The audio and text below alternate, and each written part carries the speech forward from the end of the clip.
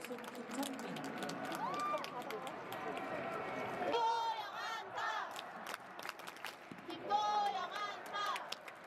잠깐 더는데 왜 이렇게 무거워?